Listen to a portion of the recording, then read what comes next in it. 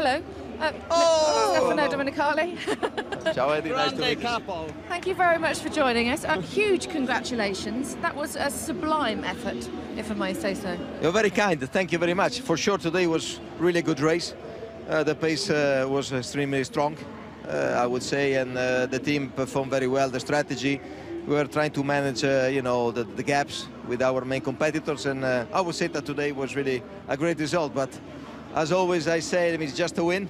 If we want to, you know, fight for our target, I mean, it is not enough. So let's. For sure, be happy today, but let's focus on the next race Well- that is on Sunday. Well, we must compliment you on one thing, and that is you're the first team boss ever came over here willingly. We didn't have to drag here, so thank you for that. That's not a problem. It's a pleasure. Stefano, Thank you very much. thank you very much. You go Bye-bye. and have a celebrate.